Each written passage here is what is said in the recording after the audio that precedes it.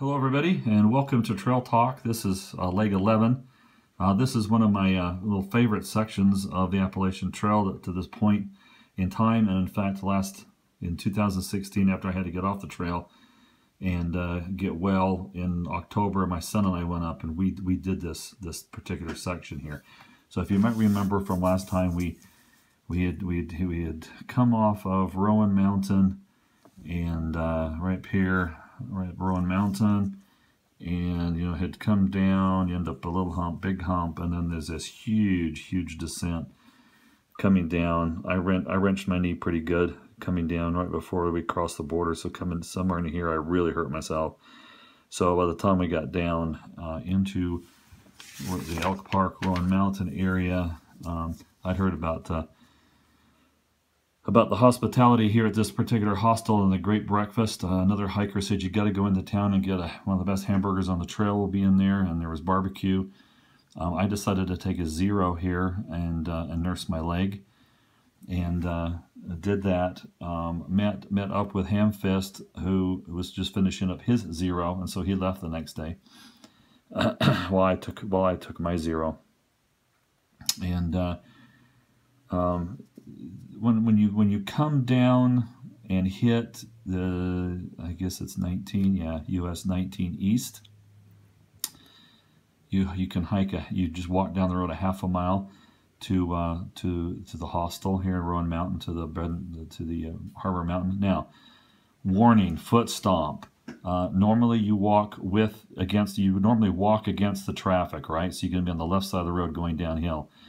Well there's a huge uh, kind of a a cliff that comes right up to the side of the road and it's a blind corner and you will you will scare the living daylights out of yourself and feel like your life is uh, in threatened but then it'll be too late because now it's a blind corner and you can't cross over to the right side and um, you, you'll feel like by the time you get done your, your life has passed before your before your eyes like three or four times. So I just highly recommend jump to the other side. There's a nice shoulder hike with the traffic down to to Roan Mountain to the I'm not down actually no, not to this town. You're just going to go to the, to the bed and breakfast here. There's some other there's another uh, bed and breakfast that's in town too. Um, uh, it's I think it's like Roan Mountain bed and breakfast.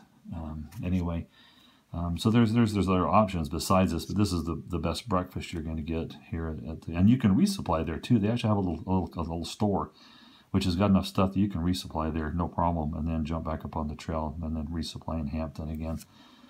Um, all right, so um, now let's see, just to give you an overview, I think there's a map on the back side here.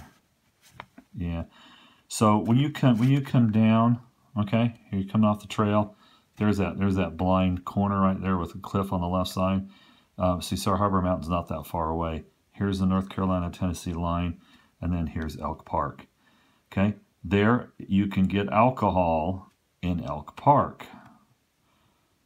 Roan Mountain is a dry county. So if that's really important for you, what, what some people would do is they would they would hitchhike, they would go to Mountain Harbor. You could very easily get a ride into town and a ride back.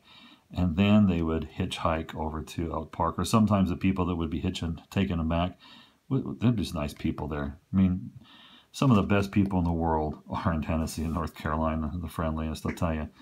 And uh, anyway, a lot of times they'll, they'll, take you down, get you some, some booze, and you can come back. So if that's important to you, um, you need to know that, that uh, you got to go to Elk Park to get the alcohol, okay? Right down to Jay, Jay's Market down there, all right? Okay. So all right, so now we've we've decided we're going to we're, we're done with our with our with our day. We're going to hike back up We get back up to the trailhead, and and this is where there is a sign that says you know don't park here over overnight. Your cars will be damaged. Um, so you know leave them down at the Roan Mountain. There's a little I mean down at the the mountain harbor. There's a they've got a parking lot there. You pay them a couple bucks I think or five dollars and they'll they'll let you park down there. Um, and uh, so let's see. We are going to, at this point, uh, begin our, we're going to be making our climb back up again. And uh, there's some, there's jeep paths that you can be going. So it's actually a pretty, pretty nice, nice hike, good, good width to the paths. Um, you get up here and somewhere about up in here was, is one of the, one of my lessons learned uh, for hiking. and that is turn around and look behind you. Um, it was kind of a rainy, misty day, and it was really nasty, and it was just easy to kind of put your head down and just trudge up the hill. And as I as I got ready to make a right turn into the woods, I just decided I would look back behind me, and uh, and I'm going to show you a picture of that, but the picture doesn't do justice to what the eye could actually see. And it was one of those moments where it's like, oh wow, I'm glad I turned around. And then I, I lived that lesson throughout a lot of my hike, and and and oftentimes I would turn around and find myself being followed by a deer or something just down the trail. So uh, always turn around. So anyway, let me show you what that view looks like.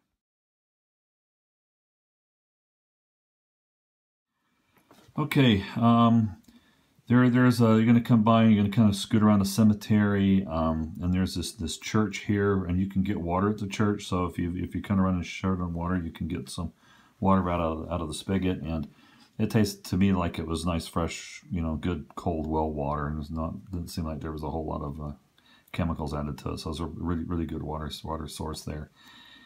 And uh, and then begin to uh, um, if I remember right this is just a very very nice nice walk through here okay?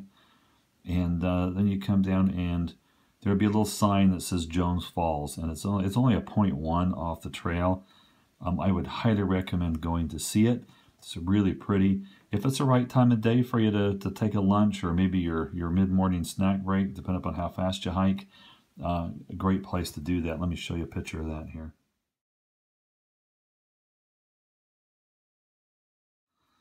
Okay, once you once you leave Jones Falls, you're going to continue the, a, a little bit of a descent and then this area here, oh my goodness, this was so beautiful.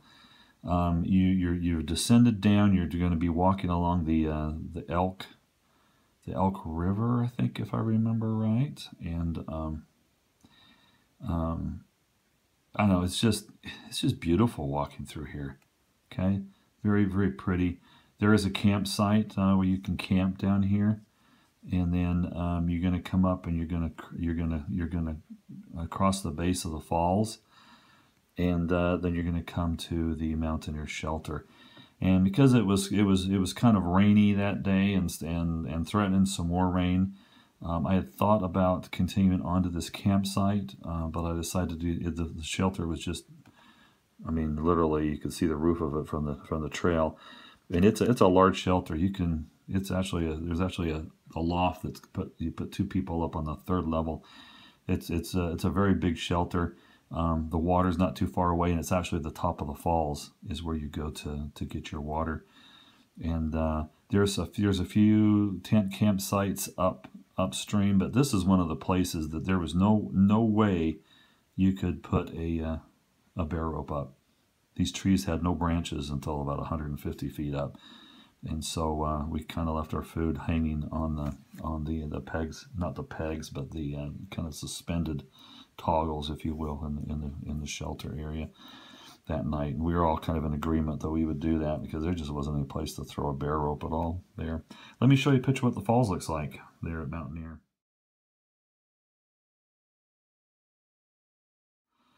Okay, um, let's see. Uh, I forgot to mention we crossed 400 miles down in this area, down along that footpath, and somebody had taken some sticks and put 400 miles on, on the path. I thought it was kind of neat. Now, once you use gut hooks, you can you can kind of keep track of that stuff a little bit easier. But I wasn't using gut hooks in 2016 when I did this. Um, let's see. Uh, there's some people that had camped camped down here, and you could see where they had had their camp sites because they were you know the, the tent area where they had had their tent was dry because it, it was raining so I could tell there had been people that had, had camped here as we as we uh, we passed by. Um, you a little thing here, this little bench view. You almost don't even pay any attention to that. And when you come up to it, it's like a park bench just sitting there. And um, when you when you come across these things, and maybe the next one you come across is going to be close to the Audie Murphy Memorial, um, take a minute and and uh, smell the roses, if you will. Let me show you a couple of photographs that I took from that bench. And you'll see why it was there.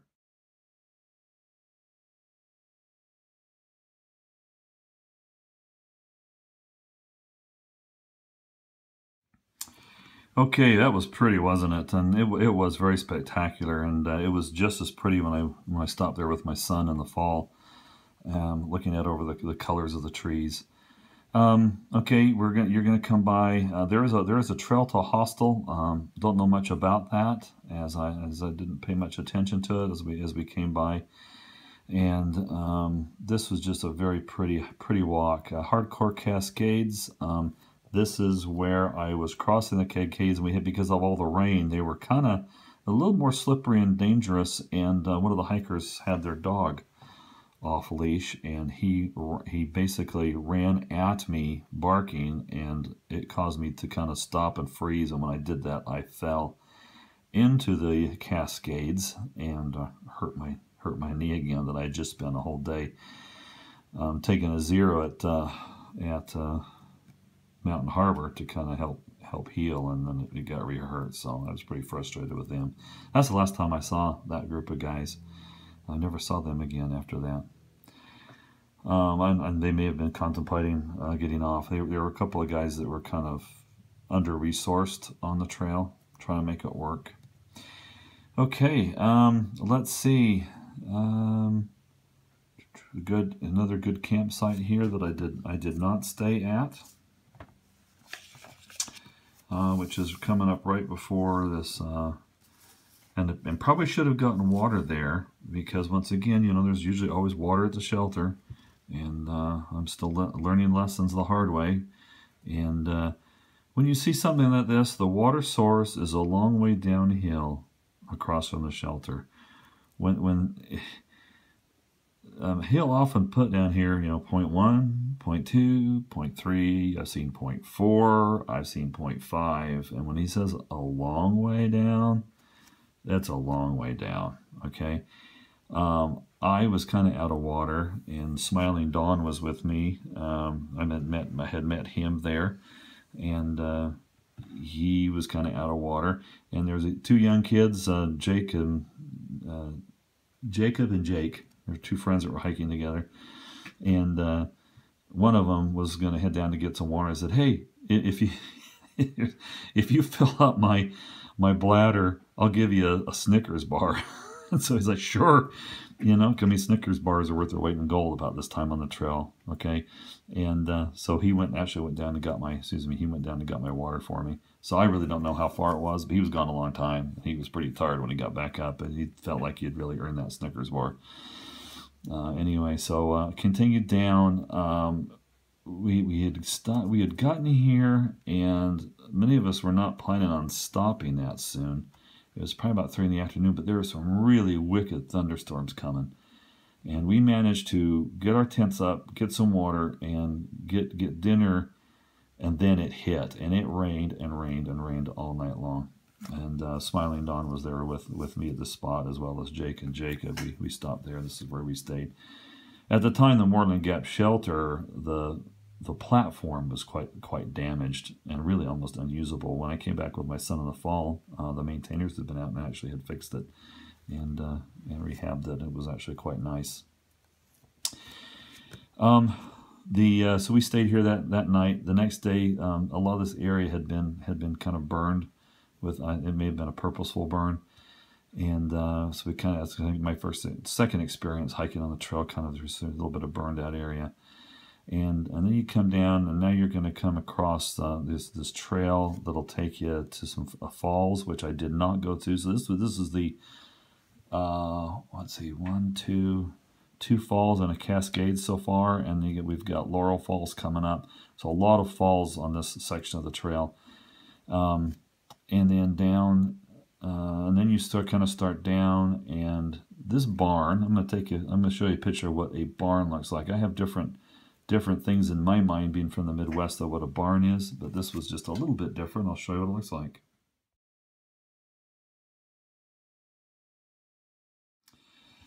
Okay, um, so we're, we're coming down. We've got um, the the Laurel Fork shelter coming up. Still, still too early to stop for the day. Um, here's here's a, there's a side trail into Hampton. You've got pond, this pond uh, Pond Mountain, uh, where there is some there is some campsites just up on the top here, and there was actually some, a little bit of water. It's, it's, it's definitely seasonal since it's up on the top of a mountain. And uh, then you've got the Watauga Lake Shelter. This shelter uh, had been closed for years. It was opened back up in 2016.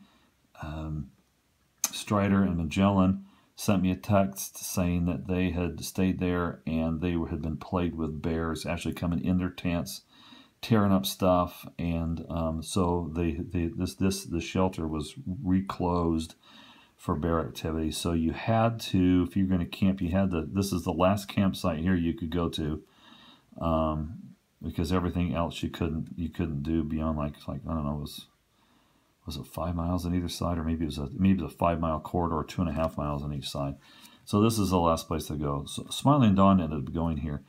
I ended up um, had I had an interesting experience I want to talk to you about. Um, um, so as as we were coming down uh, through this through this area here, uh, it was about it was about lunchtime, and um, there was a, there was some some impromptu campsites, if you will, uh, in this area here. It was nice and flat, kind of following a stream not too too far that we were following, and I, I went over. It was kind of like I said, it was kind of drizzly rain I took my pack off, um, sat down on sat down on the log, got some of my food out, and you have that that little still small voice um, that talks to you sometimes and warns you. And it happened to me. It said, "Get up and leave." I had no idea, but I've learned to I've learned to obey that that voice. And uh, I thought, well, maybe there's a rattlesnake here somewhere, a copperhead that's going to bite me. So I don't know. Um, it was kind of stormy. Maybe a, a big branch was going to fall down and kill me.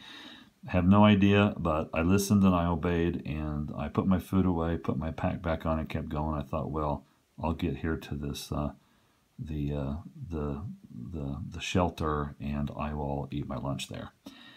Um, now, coming coming coming by the falls, Laurel Falls is, is actually pretty pretty cool. Okay, and you got to be careful. There's a there is a dangerous whirlpool there.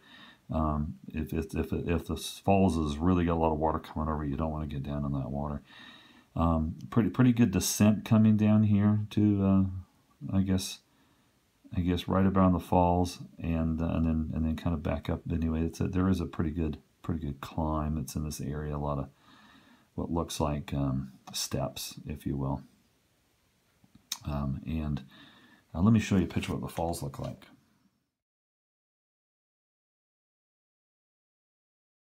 Okay.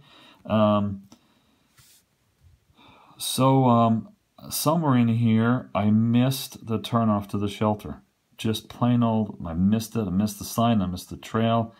Uh, maybe because I, I was thinking a lot about the, the warning that I just had and was, was pondering on the, wondering what that was about. And and uh, anyway, I ended up getting down here to the intersection of this side trail to Hampton or the climb up Pond Mountain. And um, so it was a late lunch, and I stopped and sat down on a, on, a, on a stump, and I looked to the left, and guess what I saw? I'll show you. Okay, that was my the second pink lady slipper that I'd found.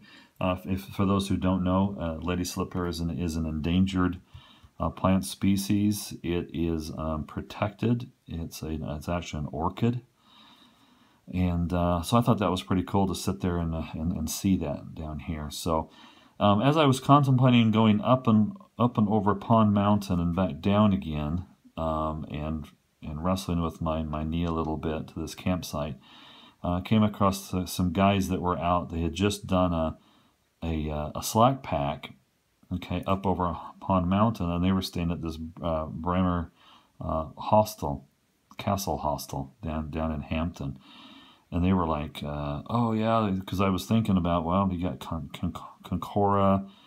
Uh, where you can stay at down there, where it's Bob Peoples' uh, place. You know, Bob Peoples is a, famous trail maintainer. He's, he's been around forever. He's about 90 now or so. Wife passed away a few years ago. Um, there's there's a, there's a hostel there. There's a, a Bear Mountain Resort or something like that. So that's another a hostel.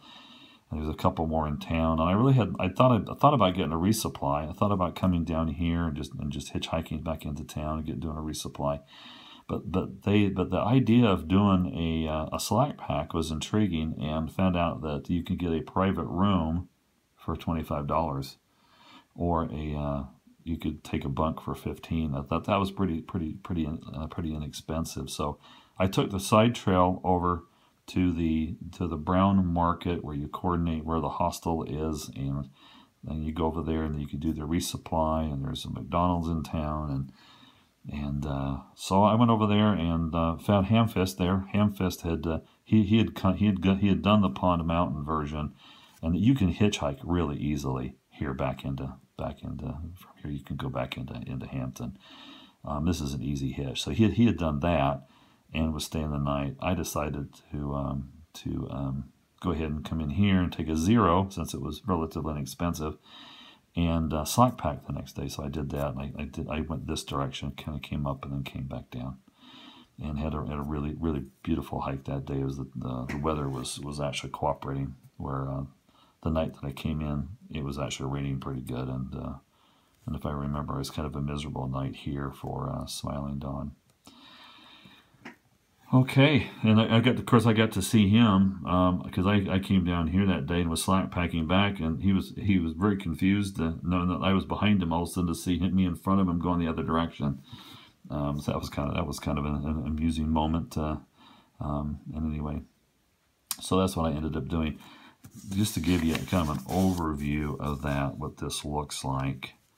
Okay, so here you're coming down Here's here's the first opportunity. Here's here's an opportunity to go to the Black Bear Resort, okay, or you can go over here to Kincora.